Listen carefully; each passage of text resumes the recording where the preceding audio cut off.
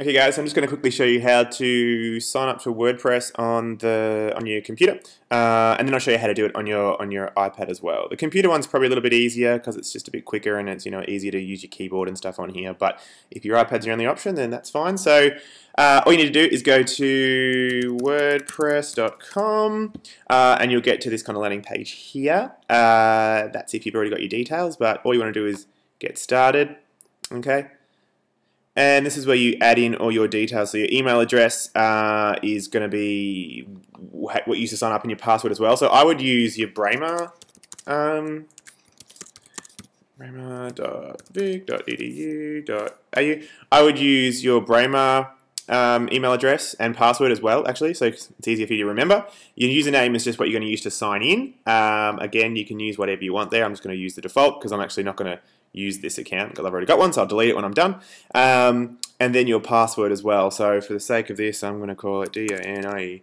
Uh, one, two, three, four, five.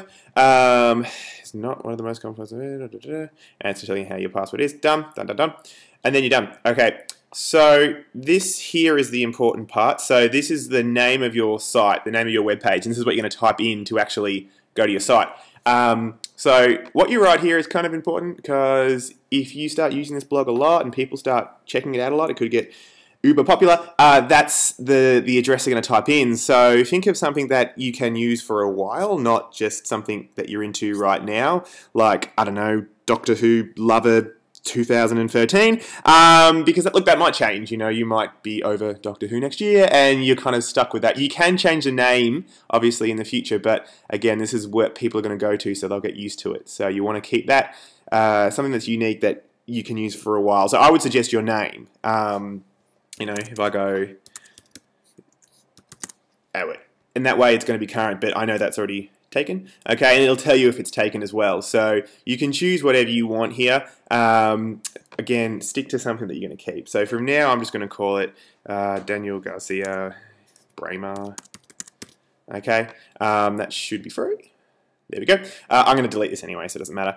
Uh, and all this is saying here is, if you want, you can get rid of the .wordpress and have just the, you know, the .com, but you don't need that, so don't worry about it. So no thanks. Um, and that's it, you're ready to go. So again, don't choose this one. You don't need to pay for anything now. Um, we'll do free. And then you do create. Just make sure you remember these things here, mainly these two.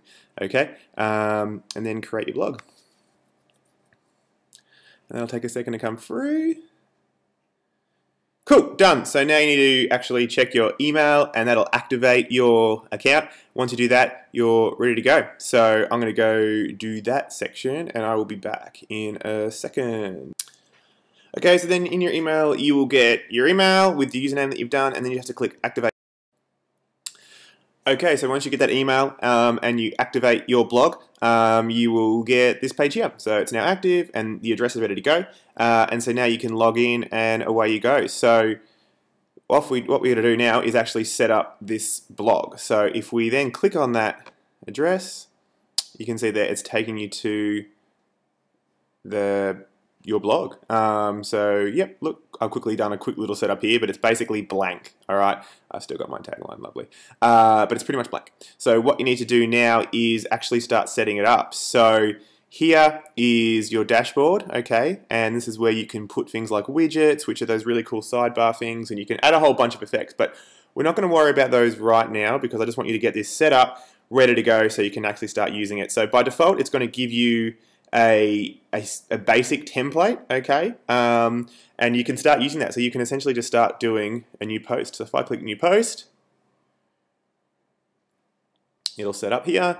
Uh, and then you can type in your post. So this is a new post.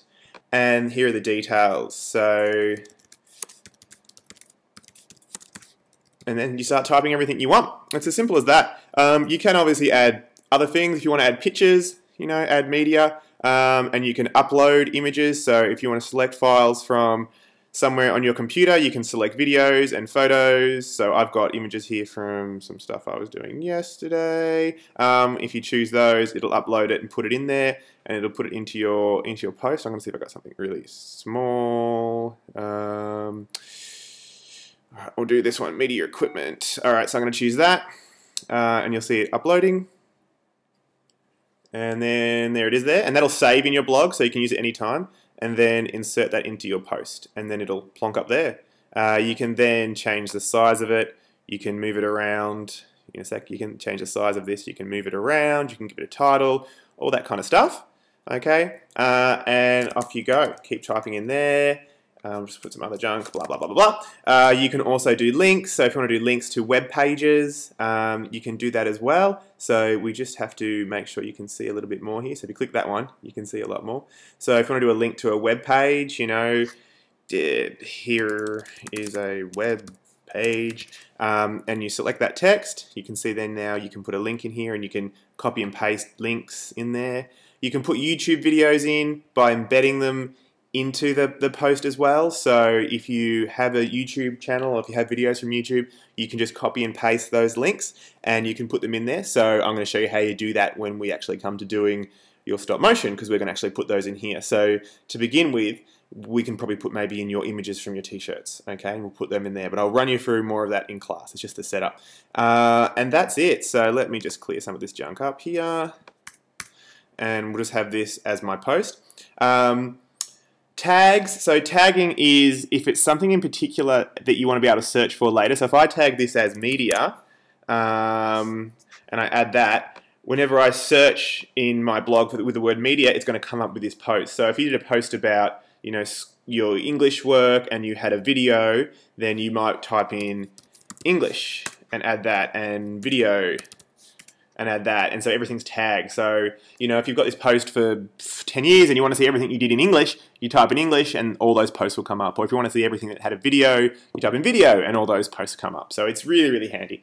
Um, so you can do that as well. And categories, again, you don't have any categories, so you can add a new one. So this is where you might have a category for media or a category for sports or, or whatever it is, and then you can actually post those in those categories so certain people know where they are.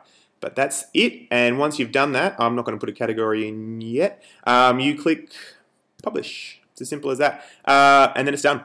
And what you'll see in a second, it'll go back to your main web page, um, and your, your post will be there. Okay, so once it's posted, you'll see that. You've published one post, yay.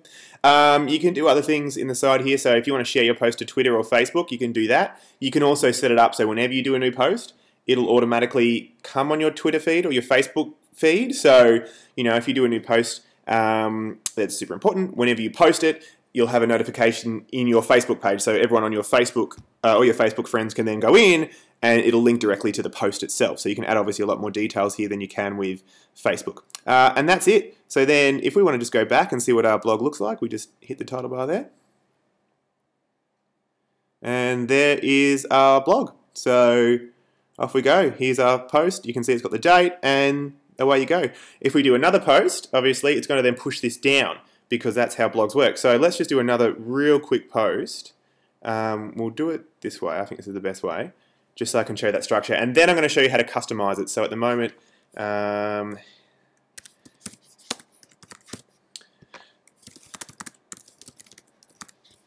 at the moment, sorry, it is just on a default setting. So we can change that so you can kind of tailor this so it, looks just like yours. Uh, again, now you publish two posts. Uh, and the same deal, you'll come up with these Twitter feeds here. So again, turn on publicize if you want it to automatically go to Facebook or Twitter.